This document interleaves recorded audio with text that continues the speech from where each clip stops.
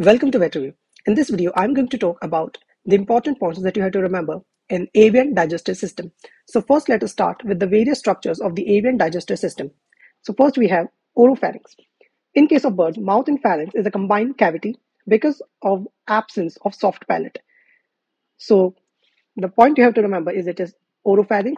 The soft palate in case of birds is absent. Teeth are also absent. Beak is present and the tongue is triangular in shape. So they have a very triangular shaped tongue which has mechanical papillae and salivary glands are well developed. Then we have the esophagus. So esophagus is the food pipe. It has two parts, cervical and thoracic part. And in the middle of these two parts, we have the dilatation of esophagus or an enlargement of esophagus called crop. Crop is also very much important. In case of fowl, mucus glands and starch digesting bacteria are present and in case of ducks, crop is absent. Okay, so what is the function of crop? The function of crop is the storage of food before it reaches the stomach. Okay, so in case of fowl, because they have a very uh, grain and starch heavy diet, starch digesting bacteria are present in the crop. But in case of ducks, the crop is absent. So the retention of food in the digestive tract of duck is very less. Then the stomach has two parts, proventriculus and ventriculus. Ventriculus is also called as the gizzard and it is the muscular stomach. Proventriculus is the glandular stomach or true stomach, and it has gastric glands which secrete hydrochloric acid and pepsin. The gizzard has a mucosa lined with a structure uh, or chemical called koilin. Koilin consists of an amorphous matrix which has koilin rod-like hard crystals, and in the presence of HCl from the proventriculus, this whole koilin structure will hard and it will form a protective lining on the mucosa of the gizzard and it helps in grinding. So the main function of koilin and the main function of gizzard is to help in grinding of the food. Sometimes grit is also present for the grinding of food. So grit basically means very small uh, particles.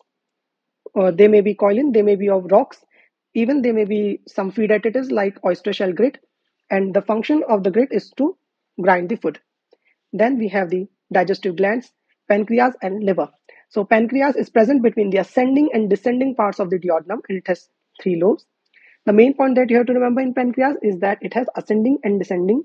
Uh, it is present between the ascending and descending duodenum and in liver it has two lobes. Only the right lobe is connected to the gallbladder. Okay, one important point that is often asked in the exam is chenodeoxycholic acid is the main bile salt. So the main point that you have to remember in pancreas and liver is this. Chenodeoxycholic acid is the main bile salt. Then we have the small intestine and large intestine. Small intestine has three parts, just like mammals, duodenum, jejunum, and ileum. Duodenum has two parts, ascending duodenum and descending duodenum. Then between the jejunum and ileum, there's a structure called Meckel's diverticulum. So birds have yolk sac, and as the bird will uh, or the chick will grow, the yolk cell will regress, and there's a remnant of yolk sac left in the adult bird called Meckel's diverticulum. It is often asked in the exam what is Meckel's diverticulum. It is the remnant of yolk sac and it is present at the junction of jejunum and ileum. So you can differentiate jejunum from the ileum or you can distinguish the junction between jejunum and ileum by looking at the Meckel's diverticulum. Then in case of birds, a proper division between the ceca, uh, colon and rectum is not present. So ceca are individual structures, but colon and rectum is a combined structure. Okay, so there are two ceca present, ceca plural, cecum singular. It has cellular bacteria in case of fowl and it has role in absorption of glucose, volatile fatty acid, amino acid and water. In case of uh, the birds of prey like owls, eagles and kites, the cecum is absent. Okay, then one important thing at the end of the digestive system is cloaca. So it is a common structure or structure common to digestive, excretory and reproductive systems. It has three parts, coprodium, urodium and proctodium. And the external opening of the cloaca is called vent. So don't get confused between vent and cloaca. Cloaca is the tube-like structure while vent is the external opening. So suppose this is the structure of cloaca. There are two sphincters like this. Okay, they are not uh, real muscular structures, but just folds which divide the cloaca into three parts we have coprodium, then urodium, and proctodium.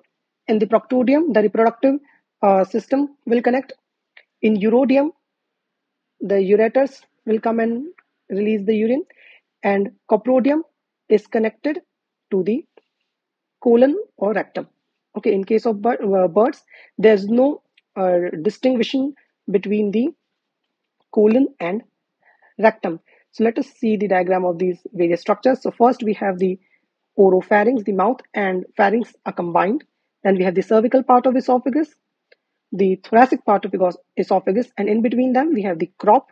Then we have the ventriculus sorry the proventriculus and then we have the ventriculus. Ventriculus is made up of four muscle. We have thick muscle and thin muscle and they help in the uh, contraction causing the grinding of the foot.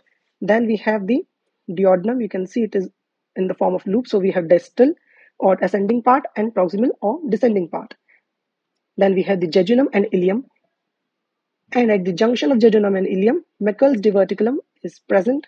Then we have the ileocecocolic junction. So this is the ileum this is the cecum and the uh, sorry this is the colon and these two are ceca.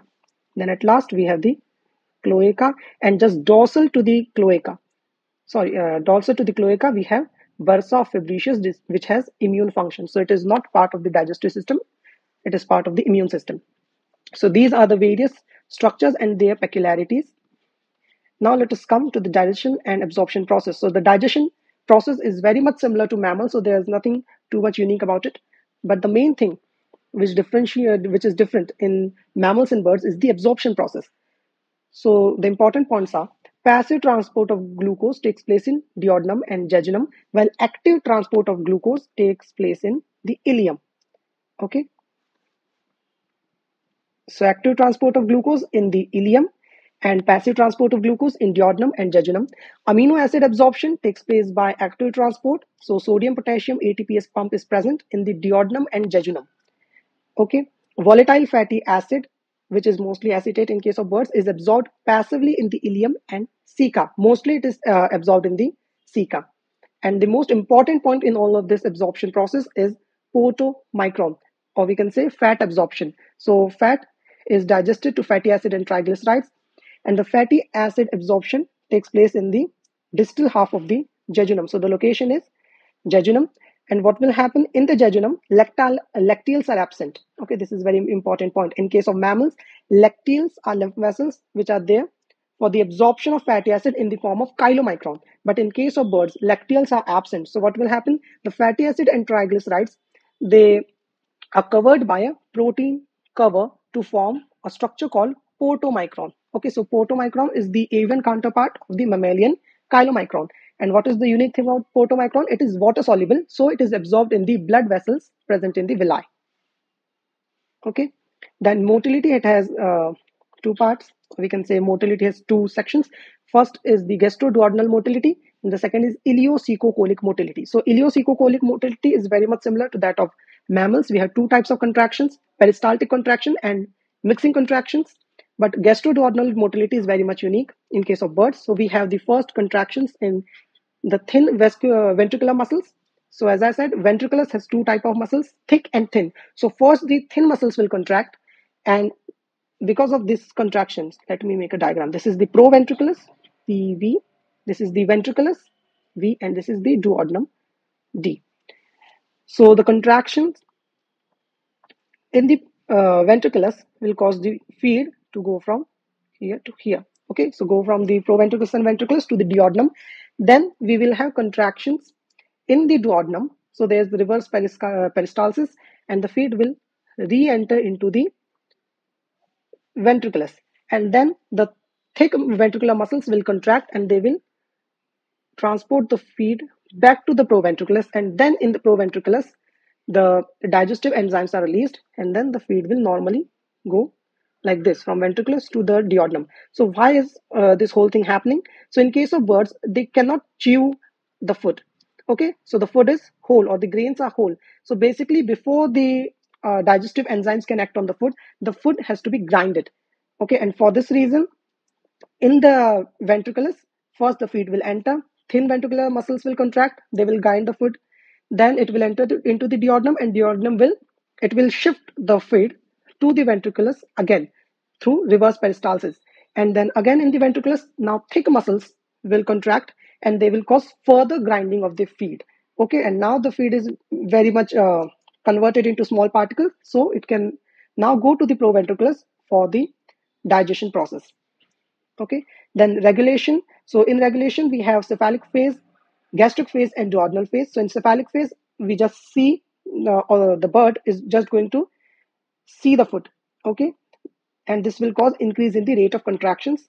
Then we have the uh, gastric phase. In this phase the food will enter into the digestive system and here the vagus nerve is activated and it will increase the secretion and gastrointestinal motility. And then at last we have the duodenal phase. Here the gastric secretion. So the secretion of the proventriculus are decreased okay? So this is the gist of it there are one two important points about the hormone. So gastrin increases the acid secretion in the stomach. So just uh, remember this trick. Gastrin wants the digestion to take place. Okay? It likes the stomach to be en- empty and active. So basically it will increase the motility and it will increase the acid and enzymatic secretion in the stomach in the proventriculus.